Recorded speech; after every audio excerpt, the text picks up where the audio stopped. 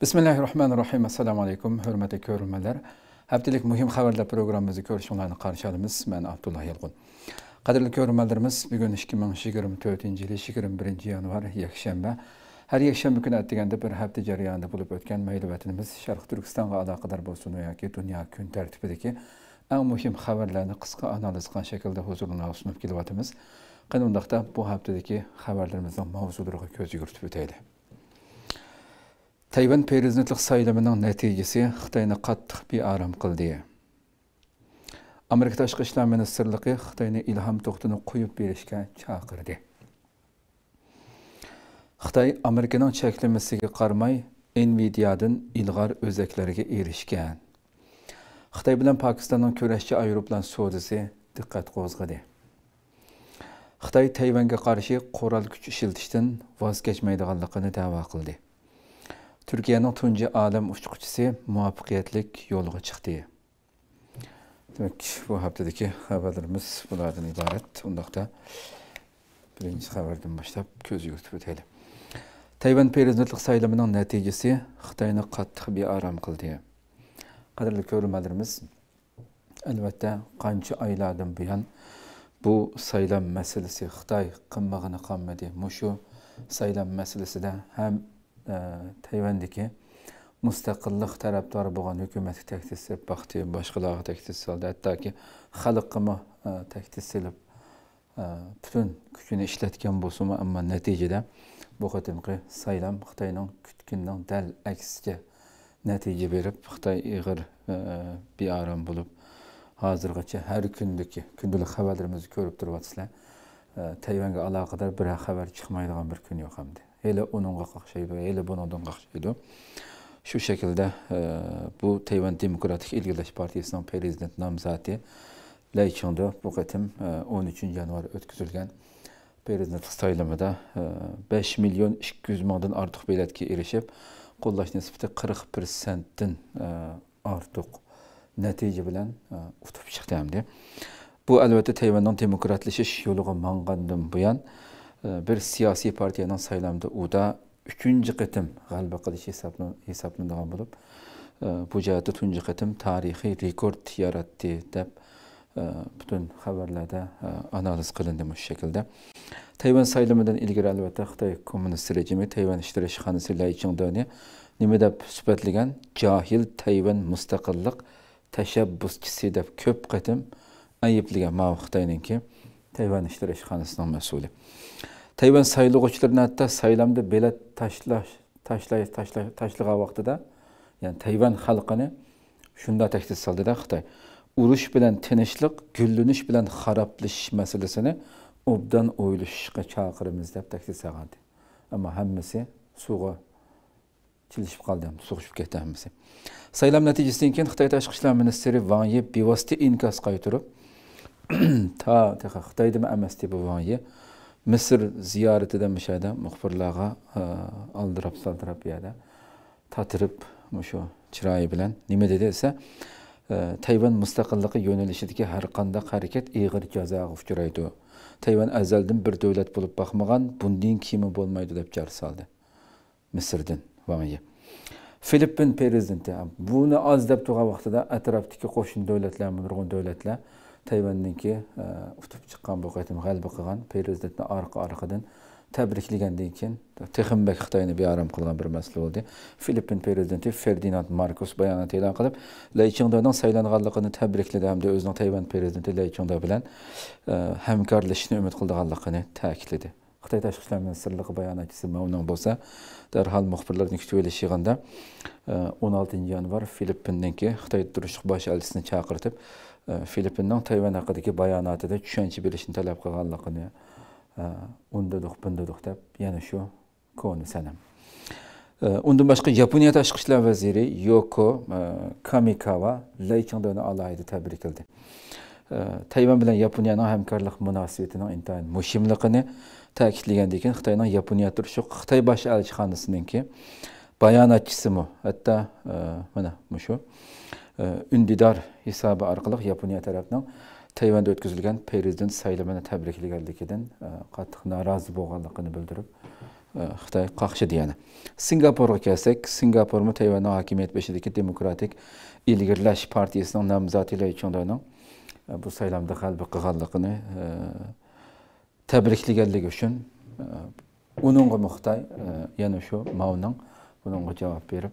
bu butunlay xatoti uti buti dunyoda faqat birla xitoy vati degan shu koni sanam shu safsatini setib noroziligini bildirdi yana boshqa oqog'id nari kuni chiqyotdi xabarlarda ko'ryapsizlar boshqa nurg'un davlatlarmi hatto amerikami yuqori tabiqada bu hafta shu yaqinda tayvandagi bu yangi prezidentni tabriklash uchun tayvanga bo'lgan qo'llashini texmbek isbotlash uchun bu yerda har ikki partiyadan amerikaniki parlamentiki e, ziyorat qildiganligini biz kundalik xabarimizda berdik. Xo'sh yana bir xabarimiz kelsak. Amerika tashqi ishlar ministrligi xitoyni ilhom to'xtini qo'yib berishga chaqirdi. Qadrli ko'rmalarimiz xitoy tajovuzchilari uyg'ur ziyolisi ilhom to'xtini shu e, o'n yilning oldida dal shu o'n beshinchi yanvar o'n yil bo'lgan kun tamdi o'n beshinchi yanvar kuniga udullab amerika tashqi ishlar ministrligi bu bayonotni bu chaqiriqni qildi uningga ortilgan hammamiz bilamiz mushu o'tgan o'n yil ichida nurg'un xalqaroliq tashkilotlar organlar davlatlar nurg'un chaqiriqlarni qildi. Bu uningga otilgan tuhmatlarning hammasining insonning kulgusini keltiradigan talayçı, talaylayçı töhmətinə Atif Xitay qığan bosumu hazırgıçı mənə nahaq haləti yetib atıdı. Ailesi bolsa qızı bütün dünyanın arqası köylərdə o Tadistan davasını qılıb atıdı. Başqa nurgun təşkilatlarımızı həm nurgun kün tərtibə keltirib durub atıdı. Mənim şu 10 il boğallıqı münasibəti bilən Amerika Təşqi İşlər Ministerliyi xitoyni muddatsiz qamoq jazosiga hukm qilingan ilhom to'xtini darhol va shartsiz qo'yib berishga chaqirdi darhol va shartsiz qo'yib berishga bayonotda ilhom to'xtining uyg'ur qatorliq millatlarning haq huquqlarini qo'g'dash uchun kurash qilganligi xitoy rejimining sharq turkistonda hozirgacha ulam emas va boshqa butun shu o'z xalqininki kishilik huquq va o'z xalqining huquqi uchun kurash qilgan har qanday kishini bostirib kelayotganligini irqiy qirg'inchilikni o'z ichiga olgan nurg'un jinoyatlarni davomlashtirayotganligini bu xitoyning jinoyatiga qarshi turgan har qanday kishini bostirib jazolab kelayotganligi tilga ilingan bayonotda amerika hukumatining xitoyni shu ilhom to'xtini o'z ichiga olgan tutqunlarni qo'yib o'tishga ilhom to'xti va boshqa tutqunlarni qo'yib o'tishga darhol va shartsiz qo'yib o'tishga chaqirdiganligi qayd qilingan bayonotda. Atalmish davlatni parchalash va qudrat qo'lliq qilish deb jinoyat otildi ilhom to'xta apandimga bu tuhmat bilan muddatsiz qamoq jazosiga hukm qilingan professor ilhom to'xtining masalasi boshdan oxir xalqaro jamiyatning diqqatini qo'zg'ab kelayotgan bir masala bo'lib keldi. Nurg'un mayli turkiyada bo'lsin va yevropa ittifoqida masalan shu ikki ming o'n to'rtinchi yili oktyabrda martin enalis inson haqlari qo'g'dovchisi e, mukofotiga erishdi ikki ming o'n to'qqizinchi yili saharov mukofotiga erishdi e, va boshqa turkiyada e, mukofotga erishdi. Shundoqla to'rt qitim bundan burun nobel tinchlik mukofotiga nomzodligi ko'rsatildi. Bu yilmi masalan turkiyada nurg'un professorlar yana shu nobel tinchlik mukofotiga nomzodlik ko'rsatish haqida nurg'un chaqiriqlarni qilib faoliyatlarni qilib davomlashtiryapti Xoş, yeni bir xəbərimiz gəlsək, Xitay Amerikanın çəkilməsinə qarmay Nvidia-dan ilğar özəklərə erişkən. Bu özək məsələsi mə illərdən bu yan toxtumay davam qılıbatdı Xitay təcavüzçiləri. Bu başqa dövlətlərinki yuqur texnikilik özəklərini hər xil öz xalqını və Şərq Türkistandakı xalqını eziş üçün müş nurgun yuqur texnikilik üskünlərə işlətkənliyi aşkarlanğan deyilən. Amerika qatorliq davlatlar orqa orqadan cheklayotganligini bilamiz e, xitoyning bu e, o'zaklarga erishish yo'lini to'siyotdi hamdi shunday qilgan bo'lsami xitoy bu hiylagar xitoy yana boshqa bir uchinchi to'rtinchi xayriy davlat dunyoda to'nilmaydigan jiq to'nilib ketmagan shundoq shirkatlar orqali yana bununla erishib kelganligi isbotlangan bir xabar reuters agentligi amerikaning xitoyga qo'ygan eksport cheklamasiga qaramay xitoyning harbiy organlari va davlat egiligidagi organlarının yanılı Nvidia'nın ilgari özeklerine erişkenlikini aşkarıldı. Amerika vazı berildi bu xabar. Amerika hükümeti ilgar yerim ötküzgüç tekniksi ve özeklerinin Xitayga eksport kılınışını qattiq kontrol qilgan bolsumu, Ama e, Xtay bununla xeyridar chaqir Reuters agenetliği inaklap chiqqan narsada ya'ni xaridor chaqirish hujjati va boshqa hujjatlarni tekshirish orqali reuters agentligi xitoyning harbiy organlari davlat egiligidagi sun'iy idrok tadqiqot o'rinlari va universitetlarining o'tgan bir yilda yanada amerikaning xitoyga eksport qilishni cheklagan nvidianing ilg'or yerim o'tkazgich o'zaklarini ma'lum miqdorda setib olganligini e, bayqagan. 15 yanvarda reuters agentligi bu xabarni e'lon qilib xitoy bu ilg'or o'zaklarga ancha tunishliq bo'lmagan ta'minlaguvchilar orqali erishgan degan o'tirib qo'ygan ya'ni jiq tunishliq bo'lmagan shirkatlar orqali erishgan bunga xitoyning harbiy organlari va davlat egiligidagi tadqiqot apparatlari mazkur ilg'or o'zaklar orqali sun'iy idrok tadqiqotida bo'sish hosil qilishi yoki bularni xitoy armiyasi armiyasining alohida murakkab kompyuterlarda ishlatishi mumkin deganni o'tirib qo'ygan bu xabarda. Xitoy erishgan bu ilg'or o'zaklar a 100 va h 100 o'zligini shundoqla nvidia shirkati maxsus xitoy bozori uchun texnikalik o'lchimini tuvaltib yasagan a 800 va h 800 dan iborat ikki o'zakni o'z ichiga olgan bo'lib amerika hukumati bularning xitoyga eksport qilinishini ayrim ayrim holatda 2022 yili 9 oyda va bultur oktabrda ikki qatim har ikki yuqoritilgan o'zakni cheklagan amerika hukumati. Shundoq bo'lsimi yana xitoyning buningga ana shundoq hiylagarlik bilan boshqa yo'llar bilan erishib kelayotganligi e, bildirilgan bir xabar hamdi xo'sh yana bir xabarimizga kelsak. Xitoy bilan pokistonning kurashchi aeroplan savdosi diqqat qo'zg'adi mavzuli xabarimiz. E, albatta e, bu xitoy bilan pokistonning ko'rinmas kurashchi aeroplan savdosi hindiston hukumatining diqqatini qo'zg'agan bo'lib Hindiston davlat mudofaa analizchilari e, Pokistonda Pokistondan Xitoyda yasalgan ko'rinmas kurashchi aeroplanni setib olish qarorining rayondagi havo armiya kuch tangpunligini o'zgartib, Hindistonning havo armiyasini zamonaviylashtirish besim qildiganligidan ogohlantirgan. E, Pokiston havo armiyasining shtab boshlig'i Zahir Sidhu Xitoyning kurashchi aeroplanlarining e, kurashchi aeroplanlarini setib olishga tayyor tayyorlanayotganligini сетибел иш тамамлангандан кийин бұл яңы күрәшче аэропланлар Пакистан армиясендә эшләтелеп аткан Америка эшләп шығарған F-16 күрәшче аэропланның илгерки нускаларының орнын ала алайдыганлыгын билдирген. FC-31 namlı küreşi aeroplanın yani Қытайдың setivelişi bu бұл iki. Xitay bilan Pakistanın künsiri küçüyüyətqan hərbi və müdafiə həmkarlığını göstərən olub, Xitay bilan Pakistanın Cənubi Asiyadakı ortaq rəqib olan Hindistanğa təqabül duruşunu planladığını, e, göstərdiyini bildirməkdə analizçilər. E, Bunun arxasında yatqan məsələ budur. Pakistanın bu planı Hindistanğa besim qılıb, Hindistanı Amerika işləb çıxarğan F-35 aeroplanını setib ediş arqılıq çigra rayonlardakı hava armiyası gücünün əvzəllikini saxlaşqa majburlashi mumkin degan shaklda e, analizlar e, hamda. Xo'sh yana bir xabarga kelsak. Xitoy tayvanga qarshi qurol kuch ishlatishdan voz kechmaydiganligini tavba qildi. Bu shu xitoyning e, uzundan buyon popozlik qilib biz ani qilamiz mani qilamiz e, vaqti kelsa qurol ishlatishdan yonmaymiz deb davomli holatda tahdid selib kelayotgan masalalarning biri bu.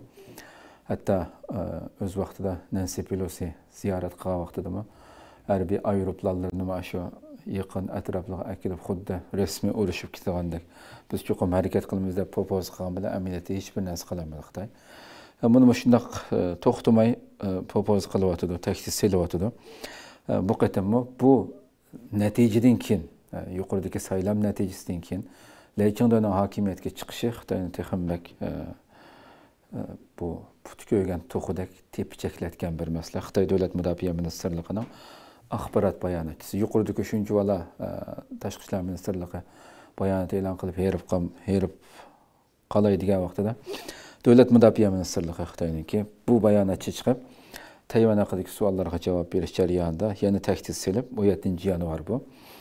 бір мұхбір қытай дәулет мұдапия министрлігінің ақпарат баянатшысы чаң шаугандың тайваньда вазипа өтәп жатқан f 16 v блок 20 түплік 140 күрәшчі аэропланның һәммәсенең дәрежесі өстірілгенлігіні яғни америка тарапыдан 2026 елдан бұрын yana америкадан F-16 V blok 70 tiplik 66 күрәшчі аэроплан сетіп алдығанлығын тайваньның Қытайның бұл мәселеге қандай қарайдығанлығын сұрағанда Э, so'raganda Can javobida Demokratik İlgilaş Partisi dairlərinin Amerikadan qoral yaraq setib Xitoyning birlik kelish vaziyatini to'sib qololmaydi. Setib al. Biz chuqum birlik kelimiz. Navbatdagi vaziyat faqat Tayvanni urush o'tig'i so'rashdak xatarlik ahvolga tushirib qo'yganligini e, Xitoy armiyasi barliq zarur tadbirlarni qo'llanib, har qanday yo'sindagi Tayvan mustaqillik harakatini tarmar qilganligini da'vo qilib, bu jar soldi hamdi. Ya'ni tahdid soldi hamdi. Undan boshqa Xitoy rejimi Tayvan ishlar ishxonasining bayonotchisi Chin o 17 yanvar Beyjingda o'tkazilgan qarorlik muxbirlarni kutib olish e, yig'inida e, Tayvanning saylam natijasining e, Tayvanning saylam natijasining Tayvanning saylam natijasining Tayvanning Xitoyning bir qismi ekanligidek e, bu haqiqatning o'rnini tavirtanmaydi degan ya'ni shu o'xshash koni sapsata. Xitoyning Tayvani u deydi o'sha ovozim botyapti u tayvan degan xitoyning tayvani. Buni hargiz o'zgartirmaydi hech kim. Tayvan qanday bo'lmasa oxirida yana xitoyga qo'shib olindi deb buni biz qo'shib olamiz dedi xitoy. Chinbunxo bayonotida biz qurol kuchi ishlatishdan voz kechish haqida va'da bermaymiz. Bu bayonimiz albatta tayvan xalqiga qaratilmagan balki sirtqi kuchlarning aralashishi va intoyin oz sondagi tayvan mustaqilligini nishon qilgan bo'lgunchilar va ularning bo'lgunchilik harakatiga qaratildi deb jar soldi biroz numus bo'lish kerak damdi yuqorida deb o'tdik tayvan tarixida rekord yaratdi deb ya'ni yuzda qirqdan bir partiyaning uda uch qatim yuzda qirqdan ko'proq ovozga erishib besh milliondan jiq inson oz sondagi deydigan o'ziga qarshi har qanday bir kuch har qanday bir e, bir ideya o'ttirg'i chiqsa xitoy tajovuzchilar nima deydi oz sondagi vatanimizni mana shu oz sondagi bo'lgunchilar u bu deydi nomussizlar ya'ni o'zining millati bo'lmasa bu. Besh milliondan jiq inson ya'ni aqli va puti bilan minib yuradigan o'rtirib mangadigan behush emas ya'ni aqli hushi joyida besh milliondan jiq inson berib ovoz berib man mustaqil yashayman deb yotsa yani nomussizlarcha mening bu qurol ishiltish masalam Tayvandagi xalqqa qaratilmagan 5 milliondan inson sizni xohlamaydiganligini bildirdi ki mana. Belatni tashladi, ovozni berdi. Yana deydi?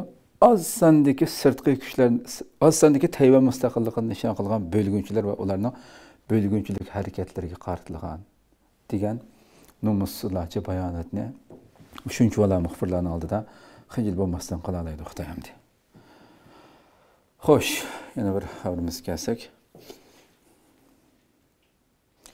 Türkiye'nin tunji odam uchquchisi muvaffaqiyatlik yo'lga chiqdi.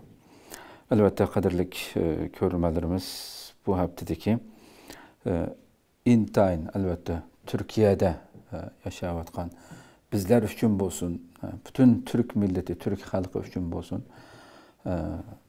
Tunji qitim, ya'ni nait albatta bu shu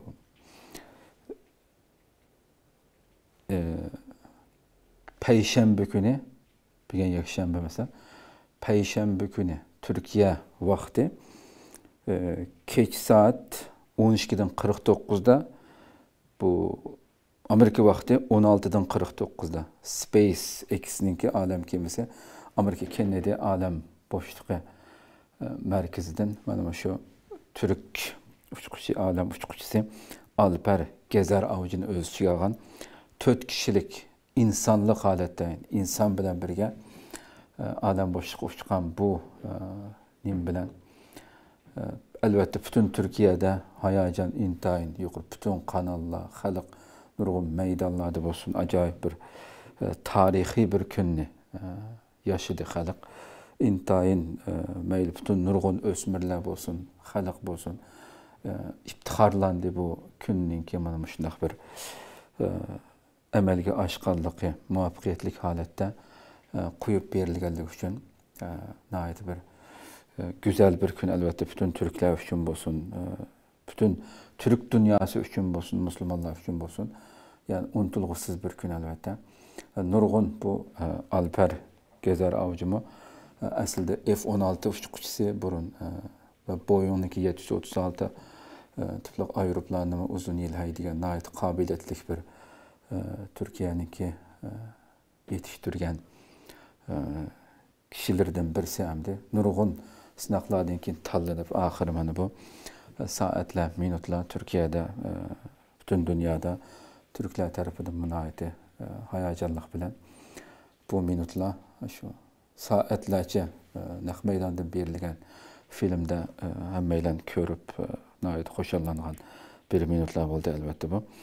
mana shu 36 soatdan keyin xalqaro olim punktiga yetib boradiganligi bildirilgan qo'yib berilganda hozir endi berib bo'ldi albatta soatiga 27 ming kilometrdan tez suratda uchgan bir shaklda shunday qo'yib berilgandan keyin bu münasibət bilan Türkiyə prezidenti Rəcəb Tayyib Ərdoğan dövlətlik aləm planının tuncu qadım bolğan aləm uçqucusu bolğan aləm vəzifəsi haqqında sirliq telegramma elan qılıb xalqqa so'z qildi bu so'zida biz hammamiz birlikda tarixiy daqiqalarga shohid bo'lyapmiz. Biz o'rtaq iftixor yuqori pallaga ko'tarilgan davrlarning birini boshdan kechiryapmiz biz jumhuriyatimizning ikkinchi asriga va turkiya asriga olam uchquchisi bo'lgan olam vazifasi bilan qadam qo'ydik. Biz ilm fan tarixiga o'zgacha to'kib qo'shgan bir madaniyatning varisi bo'lish sifatimiz bilan tarixda ilib borgan burchimizni qayta ijro qilish e, uchun intayin qimmatli yangi boshlanishni amalga oshiryapmiz biz ufqqa nazar solgan yoshlarimizga va orzusi dunyoga sig'magan bolalarimizga ilhom bo'lish uchun tunji qatim bir puhroyimizni olam bo'shlig'iga avatdiq degan shaklda xalqqa xitob qildi turkiya sanoat va texnika ministri mahmad fatih kochir bo'lsa tunji turk olam uchquchisi gazar avjining u yerda o'n uch ilmiy tajrib bilan shug'ullanganligini bildirib biz turkiya ilm fan tadqiqotchilarining olam ilmiy sohasi tadqiqotida yangi bosqichga qadam qo'yamiz.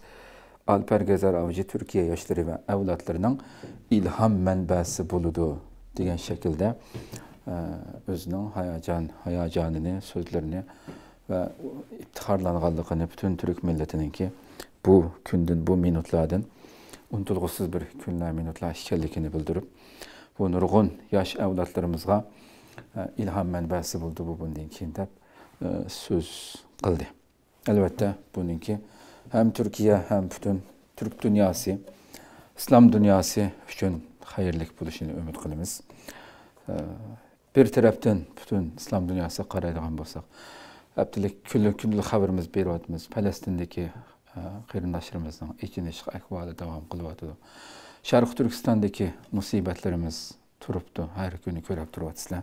Tajovuzchilar bir tarafdan mana bu shundoq dunyo qon yoshliq nurg'un zulm e, noli faryod fojialar davom qilayotgan bir vaziyatda yana bir tarafda nurg'un ishlar vujudga chiqib turadigan mana shundoq e, kurash e, haq bilan botilning o'ttirsidagi adolat bilan zulmning o'ttirsidagi kurash hech qachon to'xtab qolmay davom qiladi aslo keyniga yenish tushkunlish bo'lmaslik kerak.